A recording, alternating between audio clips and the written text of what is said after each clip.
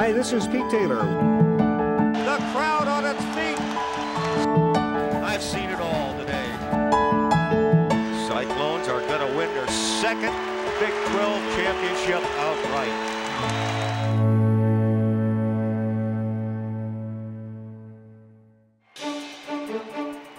March 3rd, 2001, Ames, Iowa. The Cyclones needed one more win to clinch back to back Big 12 championships. Nebraska put up a good fight, but in the end, the Huskers were no match for Jamaal Tinsley. The Big 12 Player of the Year scored 23 of his career high 29 points in the second half. And with each big play by Iowa State's talented point guard, you could sense that Pete Taylor and Eric Heft knew that Tinsley was not about to be denied another Big 12 championship. Iowa State taking time off the clock. Tinsley with a move on Fields up and good! Jamaal Tinsley with another bucket. 77-69. 147 to go. Augustine to his right on the move. Inside, knocked away. Bradford's got it back. Jump blocked by Shirley. Tinsley's got it. Down court. Off the glass. Good! Jamaal Tinsley! He has taken this game over. It's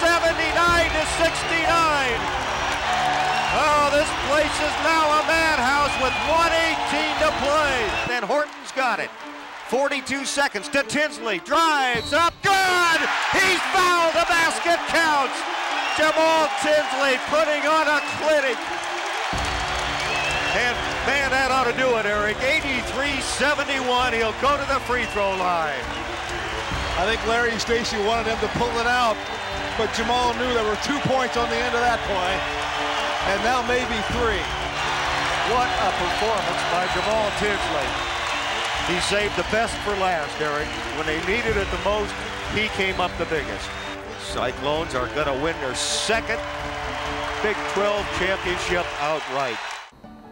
Well, Eric, an incredible individual performance by Jamaal Tinsley in that game against Nebraska to allow Iowa State to cut down the nets. 23 points in the second half, and he did take over that game, literally. Uh, He did. He, he was an unbelievable player, you know, and, and not a guy who was known as a scorer necessarily. But if you, he had to get points, he would get points. You know, you, you go back two years that Jamaal and Kantrail Horton played, uh, never lost a game at Hilton Coliseum. You know, won back-to-back Big 12 championships. You know, unbelievable run. Uh, but he was the guy. I think it's borne out by his long NBA career. But he's the guy that could make plays that uh, very few in this league have ever been able to make.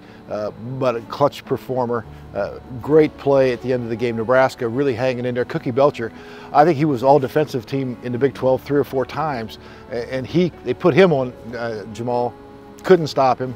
And I just remember that basket. You know, you had that feeling something good was going to happen, and it did.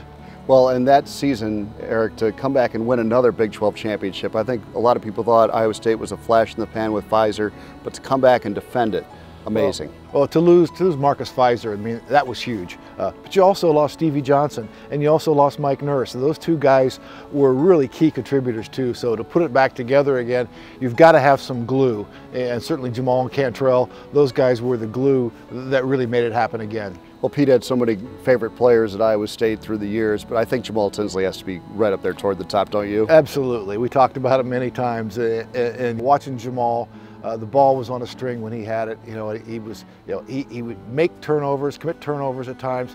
He never turned it over in the last five minutes of a close game. Uh, he, he knew when to try something risky and when not to. Uh, a joy to watch, and uh, uh, he had that swagger. Not too many guys could back up calling Allen Fieldhouse just another gym. He did, he did. Let's uh, take a look at the uh, clincher, so to speak, against Nebraska here at Hilton Coliseum with Pete Taylor on the call. Iowa State taking time off the clock. Tinsley with a move on Fields up and good!